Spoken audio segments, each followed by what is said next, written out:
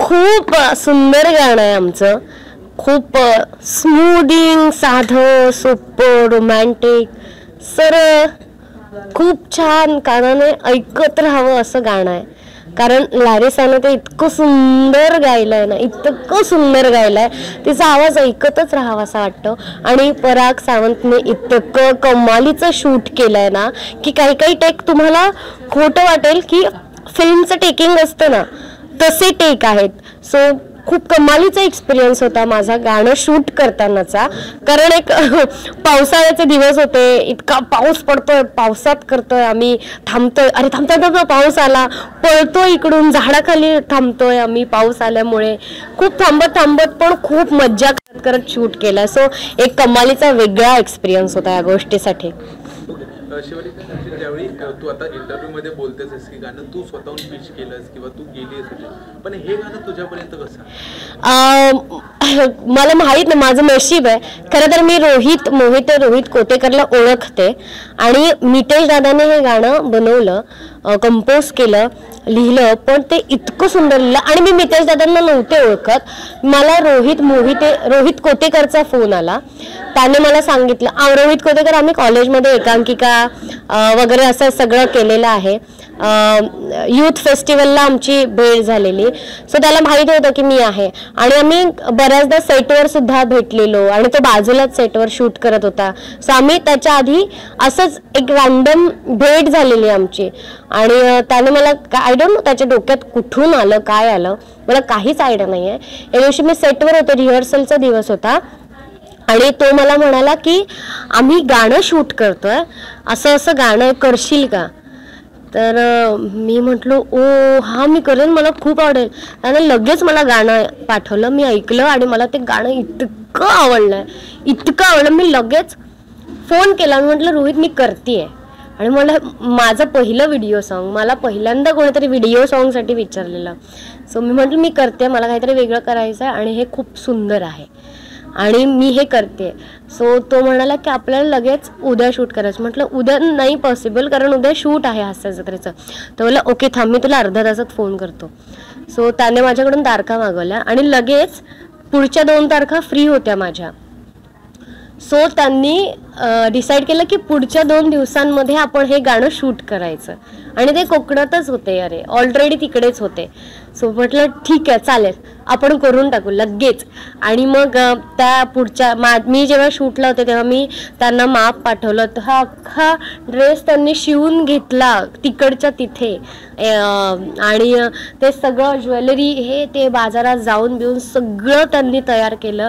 मी र शूट झाल्यानंतर रात्री गाडीत बसले दादरवरून आणि मी कोकणात गेले. सकाळी पोहोचले. सकाळी म्हणजे एक नऊ साडे दहा वाजता वगैरे असं पोहोचले. आणि आम्ही शूट चालू करणार होतो पण इतका पाऊस होता. सो त्या दिवशी शूटच झालं नाही आमचं. आणि मग अख्खा दिवस गेला. आणि मग दुसऱ्या दिवशी आम्ही अख्खं गाणं शूट केलं एका दिवसात. सो खूप वेगळा आणि भारी एक्सपिरियन्स होता. तर सो शिवानी म्हटलं की एक गावची एक मुलगी त्या गाण्यातून दिसते. तो अटायर किंवा त्या सगळ्या गोष्टी होत असताना तुझ्या मनात काय फिलिंग्स होते? त्यांनी मला ना एक रेफरन्स म्हणून गाणं पाठवलेलं. मी गाणं ऐकलं तेव्हा मला असं झालं की आपल्याला ड्रेस कुर्ती असं काहीतरी पंजाबी की अस पंजाबी ड्रेस असं काहीतरी घालायला देतील किंवा असं काहीतरी सांगतील. पण त्यांनी मला ना गाणं पाठवलं एक आणि ते गाणं त्यातनं तिने असे कपडे घातलेत. त्याला तुझं अटायर तुझं हे दिसणं असं असणार आहे. समजलं ओ किती भारी आहे. आणि साऊथवाल्यांचा एक फील असतो नाही का? सो त्या गाण्याला तो होता त्या कपड्यांमुळे आणि ते सगळं. आणि ते ते ओढणी असं बांधणं वगैरे ते सगळं आलं घागरा आला ब्लाऊज आला. त्याच्यामुळे ते एक वेगळंच दिसायलाच इतकं गोड दिसत होतं ना? आणि त्यात तो पिवळा रंग. आणि लाल ओढणी अरे वा. इतकं कमालीचं कॉस्ट्युम करेक्ट त्यांनी डिझाईन केलेलं माझ्यासाठी आणि सगळंच जुळून आलेलं. सो कमाल. एक गोष्ट आज जुळून आलंय की पायलवादीचे इंटरव्ह्यू करतेस आणि तू पैजण घातलीस त्याच्यावर तुझं नाव आहे. तो प्रेक्षकांना आम्हाला दाखव. माझं पैंजण आहे. ह्याच्यावर माझं नाव आहे शिवा. आणि खरं तर मला प लहानपणापासून पैंजण बांगड्या हे सगळं घालायला खूप आवडतं. पण आपण रेग्युलर आयुष्यात रोज रोज नाही वापरू शकत हे सगळं. रिहर्सल्स असतात बरीच वेगळी कामं असतात. पण कायम म्हणून पैंजण नाही घालू शकत म्हणून हे बनवलं. आणि हे खूप स्पेशल आहे माझ्यासाठी.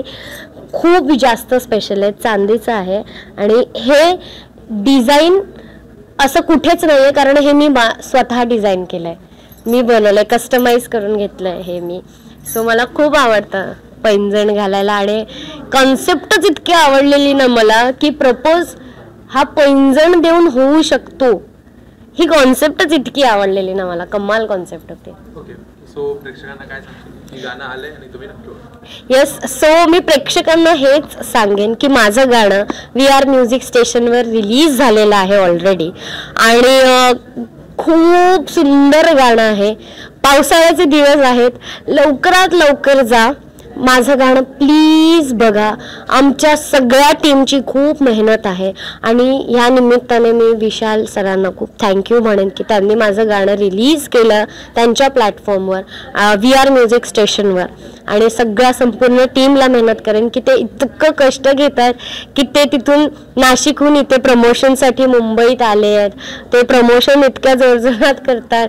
गाण्याचं प्रमोशन इतक्या मोठ्या लेवलला कधीच होत नाही आणि ते करतायत सो ह्या सगळ्या प्रेमासाठी खूप थँक्यू आमची टीम खूप मेहनत घेते. एवढंच करायचं तुम्हाला. व्ही आर म्युझिक स्टेशनवर जाऊन ते गाणं बघायचं आहे आणि फक्त फक्त कमेंट करायची आहे आणि लोकांपर्यंत हे गाणं पोहोचवायचं आहे की बघा. आणि एक छोटीशी इच्छा आहे माझी की त्याच्यावर प्लीज सगळ्यांनी रील्स बनवा आणि मला लवकर लवकर टॅग करा. Thank you so much